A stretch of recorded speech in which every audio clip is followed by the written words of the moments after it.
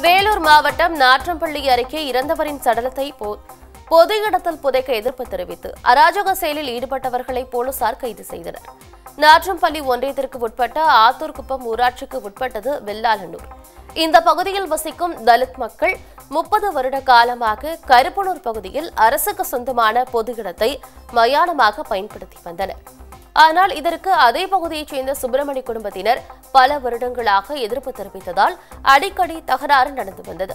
இதுகுறித்து வெள்ளாளனூர் தலித் மக்கள் மாவட்ட ஆட்சியருக்கும் வட்டாட்சியர் உள்ளிட்ட வருவாய்த்துறை அதிகாரிகளுக்கும் பலமுறை மனு அளித்தனர். எனினும் இதுகுறித்து அதிகாரிகள் கண்டு கொள்ளாத நிலையில் வெள்ளாளனூர் காலனி பகுதியில் வசித்து வந்த ரயில்வே ஊழியர் வேணுகோபால் விபத்தில் சிக்கி காலமானார். இவரது உடலை புதைக்க கருப்பனூர் பகுதியில் உள்ள சுடுகாட்டில் உறவினர்கள் குழி தோண்டினர். ஆனால் அந்த இடத்தை ஆக்கிரமித்து உள்ள சுப்பிரமணி குடும்பத்தினர் சடலத்தை புதைக்க எதிர்ப்பு தெரிவித்து அராஜகத்தில் ஈடுபட்டனர். மேலும் குழி தோண்ட வந்த ஜேசிபி இயந்திரத்தில் அமர்ந்து பள்ளம் தோண்ட விடாமல் தடுத்து நிறுத்தியதால் பெரும் பரபரப்பு ஏற்பட்டது.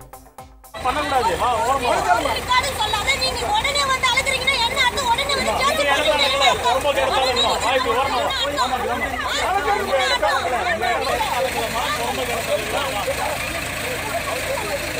ஒரு இன்ஃபர்மேஷன் கொடுத்துருக்கோம் நீங்க எந்த இன்ஃபர்மேஷன் டக்குனு வந்து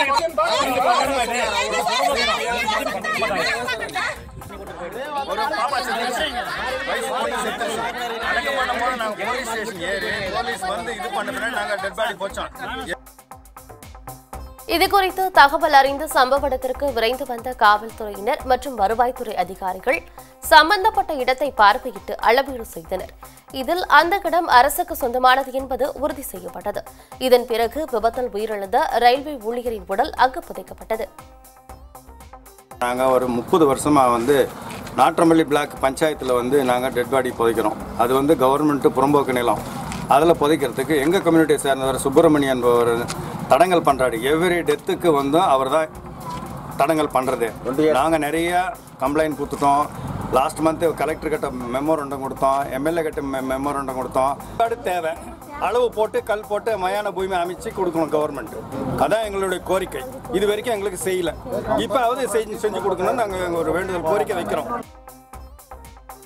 முன்னதாக சடலத்தை புதைக்க விடாமல் அடாவடி செயலில் ஈடுபட்ட சுப்பிரமணி குடும்பத்தினரை போலீசார் கைது செய்தனர். இந்த சம்பவத்தால் அந்த பகுதியில் பெரும் பதற்றம் ஏற்பட்டதால் நிலைமையை சமாளிக்க ஏராளமான போலீசார் குவிக்கப்பட்டனர்.